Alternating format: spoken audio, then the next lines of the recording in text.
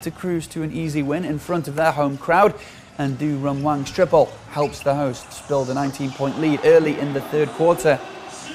Gu Zheyu's steal midway through the period leads to a breakaway dunk by David James as Tianjin continued to chip away and reduce the deficit to eight.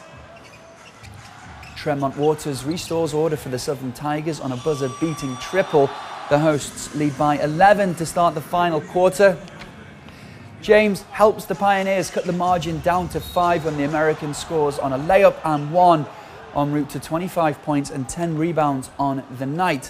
Guangdong stay in control. MarShon Brooks grabs the rebound and feeds Hu Mingxuan for a driving layup that increases the home side's lead to seven. Hu winds up with 20 points and eight assists. The Southern Tigers are ahead by four with three and a half minutes to go before Li takes over for Tianjin starting with a floating triple on a fast break that closes the gap to a single point. Li later connects on another three for the visitors to put Jiang Tianpeng's men in front by four on the road. And the 26-year-old guard continues his shooting spree with another of his six triples to extend the Pioneers' edge to seven with less than a minute left. Li scores 23 overall. Tianjin hold on for a seven-point win to leave Du Feng's Guangdong